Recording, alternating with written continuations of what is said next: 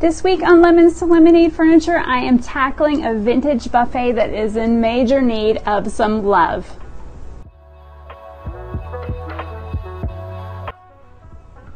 Hey guys, welcome in. It's Kara with Lemons to Lemonade Furniture. This week's flip was a vintage piece. My neighbor brought it to me. It looks like it's been made over a few times before, and I'll be the first to admit this. This is probably one of the hardest projects that I have ever tackled, but I cannot wait to show you the end result. So let's go out to the garage.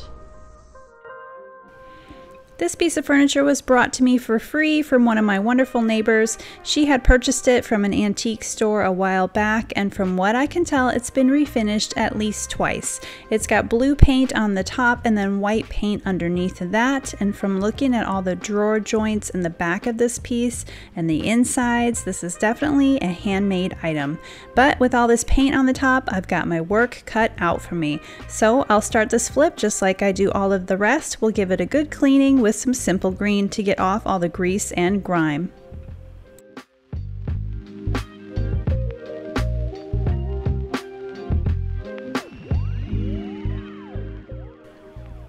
This piece sat in my garage for a bit because, well, I was kind of intimidated by it. It's just not really my style or what I normally flip, so I just didn't have a lot of ideas on what to do. But one day I just looked at it and I knew exactly what direction I needed to take this in, so today I'm to give it a shot.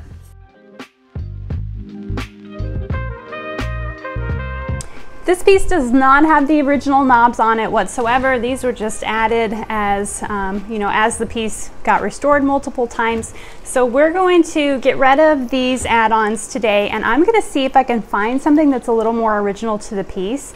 I'm not so sure that I'll be able to, but I'm definitely gonna look because I want to keep this as original and rustic looking as I can. I think that'll sell really well for me in my area.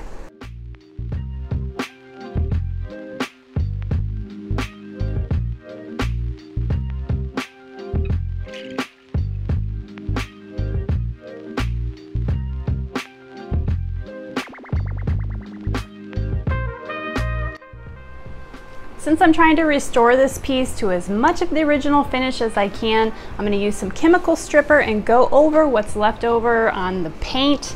I've got a little, like more than half left on the top that needs to come off, and then obviously the entire front and both the sides are going to need to be stripped.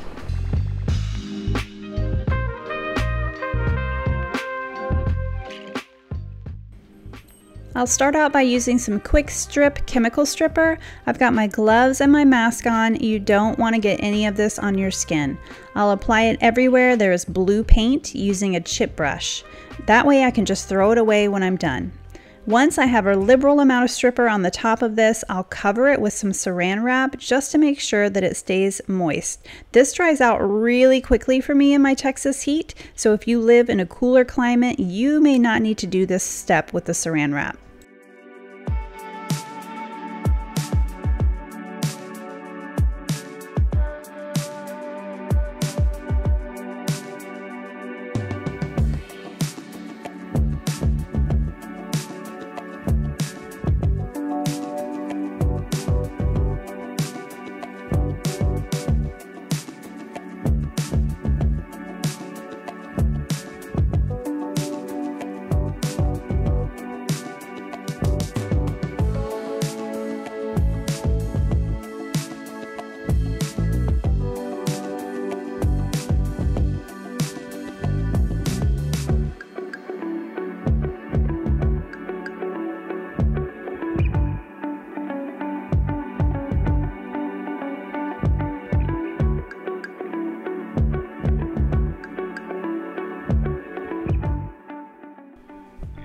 Waited about 40 minutes and I noticed that this paint just wasn't budging at all. It didn't even look like it was coming up.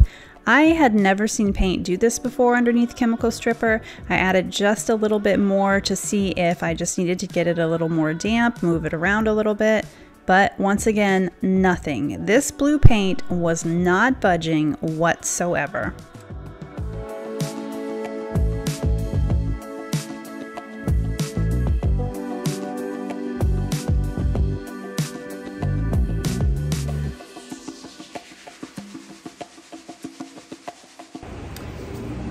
Not working for me and it is plenty damp.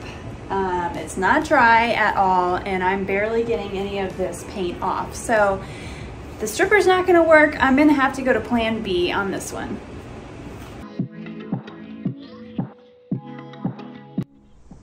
So I lost an entire day with that chemical stripper not working. I ended up just having to remove all of it with some mineral spirits and some steel wool. I just scrubbed it all off and then I had to let it dry overnight completely and then start all over the next day. So basically I lost a whole 24 hours from trying to use that stripper. I let the mineral spirits dry overnight. I got back out to the garage in the morning and now I'm going to try to remove this paint with my carbide scraper. I haven't used this scraper very often and it took me a little bit to find the rhythm to it. It did remove the paint, but if I am being totally honest with you all, I think I found one of my least favorite things to do in life.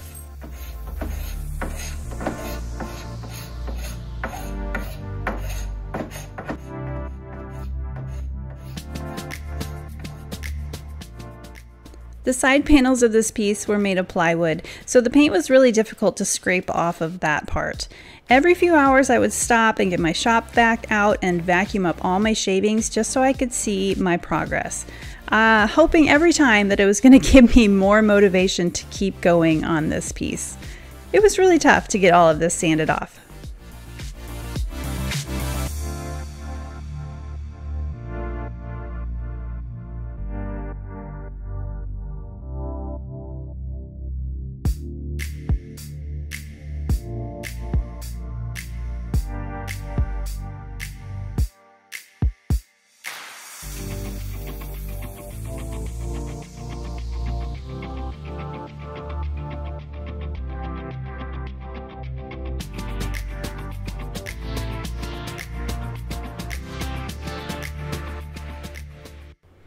The drawers for this piece were much easier to remove the paint on. This came off really easy on all of the drawers, thank goodness.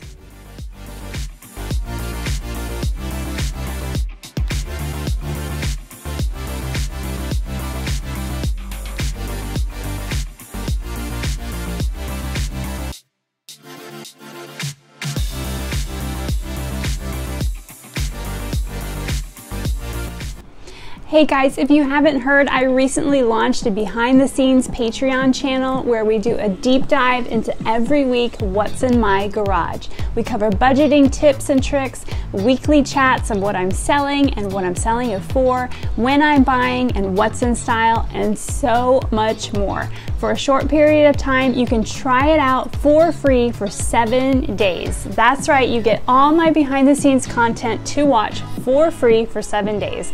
We'd love to have you jump in and join in the conversation. I've attached the links below and I hope to see you there. With the majority of my blue paint removed, I got out my 3x4 Ray Surf Prep sander and 180 grit sanding pad to smooth down the surface, and just remove any of the paint that got left behind. I'll also clean up the sides of the drawers the best I can with the sander.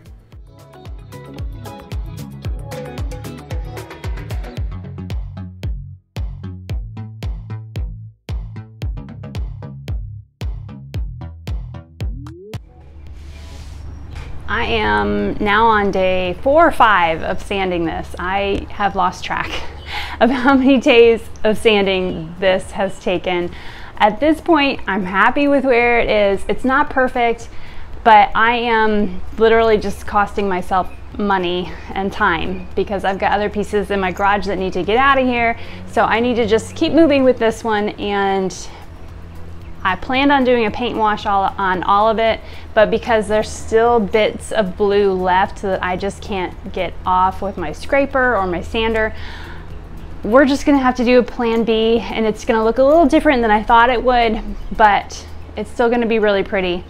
I just have to make a business decision at this point that I've spent enough days sanding and scraping this and it's time to start painting.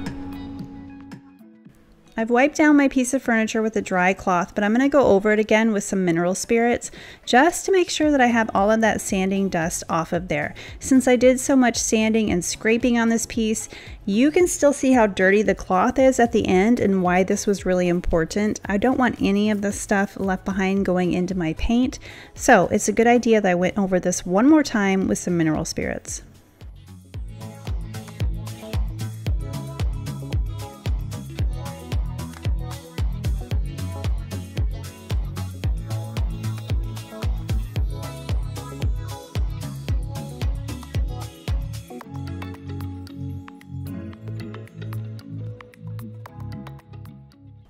On all of the areas where I still have some blue and white paint lurking around, I'm going to use my Lilly Moon stain blocking primer just to make sure that none of this old finish chooses to resurface once my new finish is applied. I'm going in with my Zibra Palm Pro angled brush so that I can get nice and close into these edges. I only want to prime the plywood, not the solid wood that is around the edge. We're going to do something a little different with that.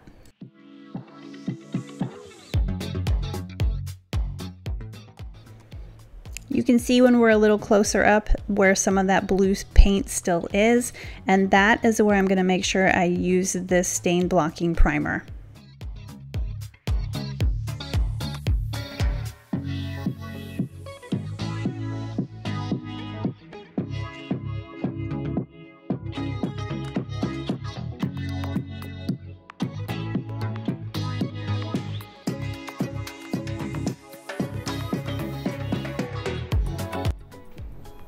My primer dry overnight and so now I'm ready to go in with my paint. I know it kind of seems counterproductive to do all that sanding and then paint over the top of it, but the truth is these parts that you see that are primed, I just couldn't get enough of the blue and white pa past paint off of it to do the paint wash that I really wanted to do. You were gonna be able to see that blue still poke through. And so I just had to make the executive decision with my time that these parts that I couldn't get perfect, I'm gonna have to paint in a color that is the exact same color that I'm gonna be using for my paint wash. So at the end, this should all come together. I wanted a color that was almost identical to the wood on this piece of furniture, so I went with Lilly Moon's Rattan from the Opulent collection. I'll be sure to link everything below that I used on this project. But you can see just by me putting this on that it is so close to the color of the wood.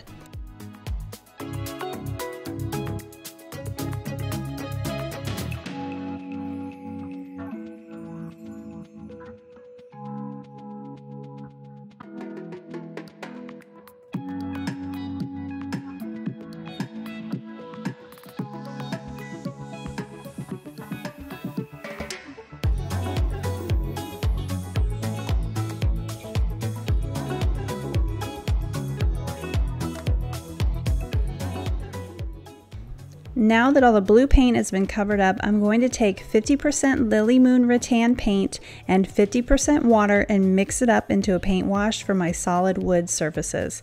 This is just going to help hide any imperfections that are left over on the wood, but still show a lot of that beautiful wood grain. I've wet the top of the dresser with my spray bottle because it'll help give my paint wash a little more open time before it dries out. I like to do everything in small sections when I do a paint wash and because things dry so quickly here, once I get that small section done, I'll wipe it back with a dry rag and just keep moving.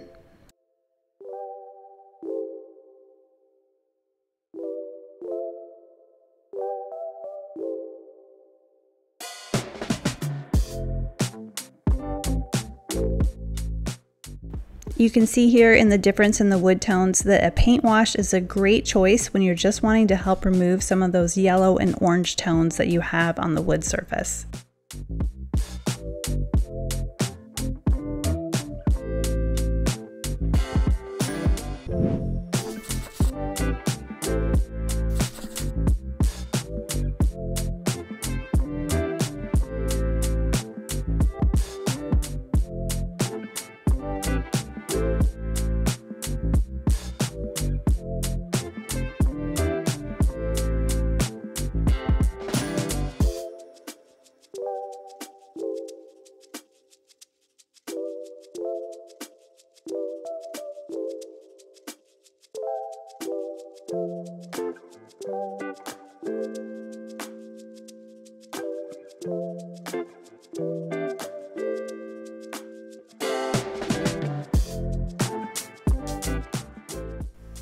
I want to save this cute little keyhole detail on here so I'll just carefully go around this so I don't get any paint on it.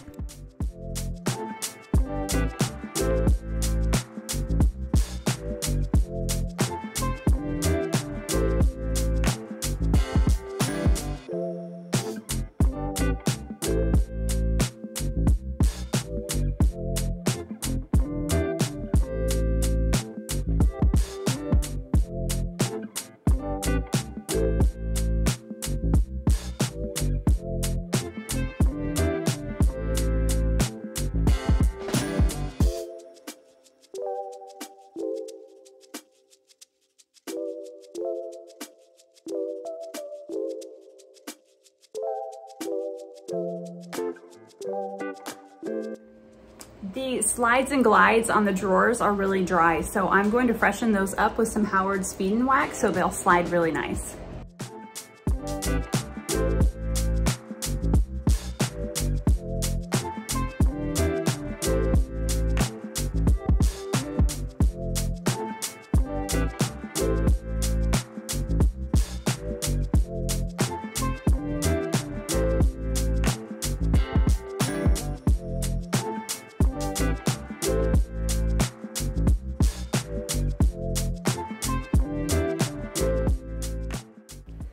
I've got some last few finishing touches to add to this piece. I really want this one to look classy and elegant and not just blend into the background, so we're gonna do a little something extra just to give it a bit more pizzazz. I found this flower and ivy stencil at Hobby Lobby. I'm going to use my paint wash and water it down just a little bit so that it's very faint and apply the stencil to the bottom two drawers. I'm using a foam roller to gently roll this design on.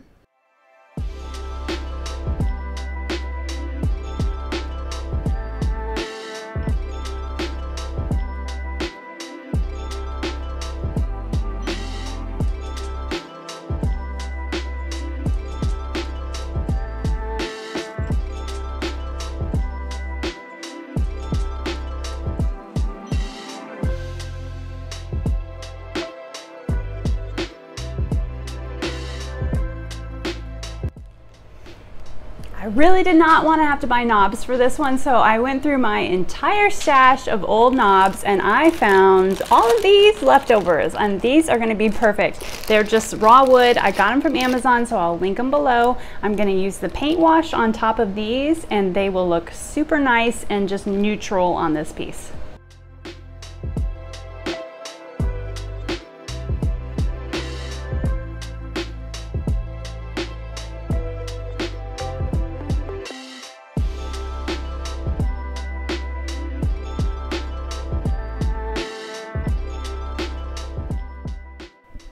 Paint that I've used has a built-in top coat, but on the raw wood areas where I watered the paint down, and especially on the drawers with that light stencil detail, I'm going to apply some Lilly Moon Stellar Shield, just to make sure that this has some major staying power. I'm using my favorite top coat sponges. You get them just a little bit damp so that they're pliable, and apply your top coat.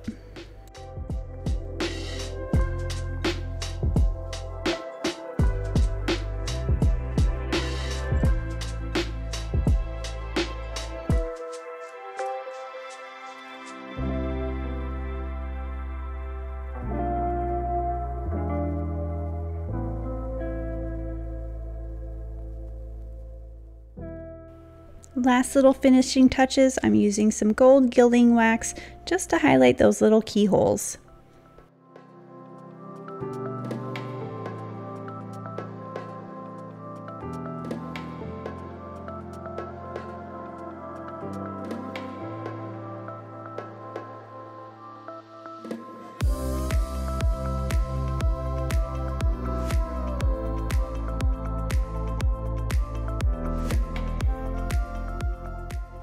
Let's take one last look at our starting point. Boy, this one was tough for me, but I'll tell you this, I learned a lot of new skills and I really learned to stretch my design concepts. Even though it was a lot of work, I was really pleased with the way this one turned out. I can't wait for you guys to see it.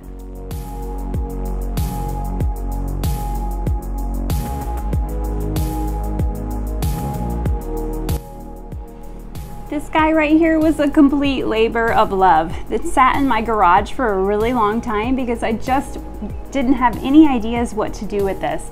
But as I started sanding and stripping away all those layers of blue and white paint, it just sort of started to come to life. And that's what's so fun about flipping furniture.